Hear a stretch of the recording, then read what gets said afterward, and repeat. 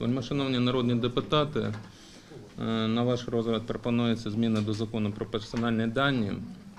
Метою прийняття цього закону є деталізація форм надання згоди на обробку персональних даних та надання можливості органам державної влади і місцевого самоврядування обробляти персональні дані на підставі їх повноважень. Ця проблема стосується двох підстав для обробки персональних даних, а саме е, згоди суб'єкта персональних даних е, на обробку їх та дозволу на обробку персональних даних надано володільцю персональних даних відповідно до закону виключно для здійснення повноважень державних органів.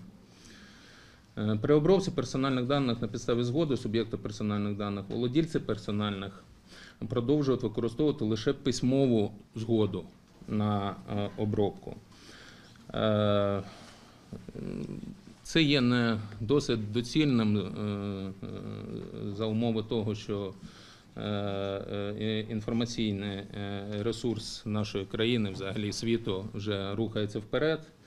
І тому Кабінетом міністрів пропонується ввести і електронний дозвіл на обробку персональних даних. Е, е, Що стосується, е, що стосується згоду на обробку персональних даних від органів державної влади, на даний час окремими законами потрібно давати такий дозвіл. Проектом закону пропонується, що, наприклад, пенсійний фонд на обробку персональних даних пенсіонерів має вже цю згоду. Також е, е, до проекту цього закону е, головним науково-експертним управлінням Верховної Ради були надані зауваження, які стосуються рішення Конституційного суду за поданням уповноваженого з прав людини. Це рішення стосується того, що стосується верифікації та порядку розгляду питань стосовно персональних даних. Ці, е, це рішення було виконано, були внесені зміни до бюджетного кодексу України, а також були прийняті дві постанови Кабінету міністрів е, про е, порядок обробки та захисту персональних даних під час здійснення повноважень з контролю за дотриманням бюджетного законодавства в частині верифікації та моніторингу пенсій, допомог, пільг, субсидій та інших соціальних виплат.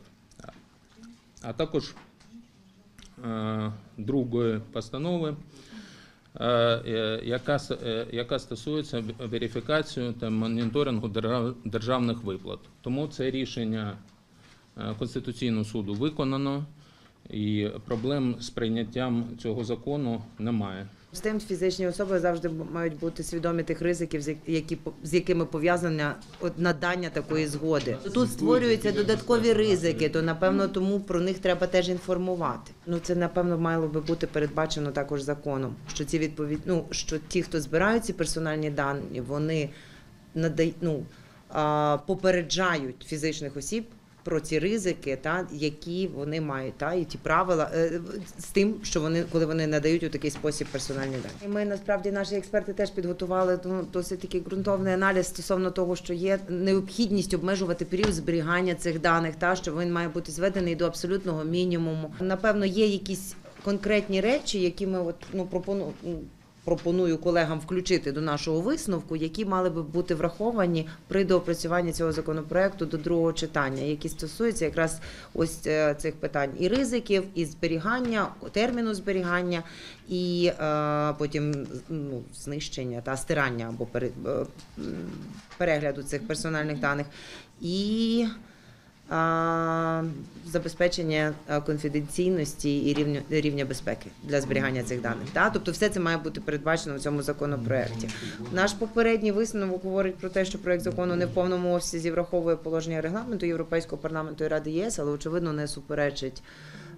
Не суперечить праву ЄС і- угоді про асоціацію, то я пропонувала би колегам підтримати цей висновок і спрямувати наш висновок до основного комітету із проханням до кабінету міністрів, які буде допрацьовувати, напевно, теж разом з депутатами брати участь в цей законопроект до другого читання, максимально це врахувати, тому що інакше ми можемо опинитися перед дуже серйозними ризиками, включно, наприклад, з ризиками щодо щодо того, е, як нас розглядають в Європейському Союзі відповідно до безвізу, наприклад.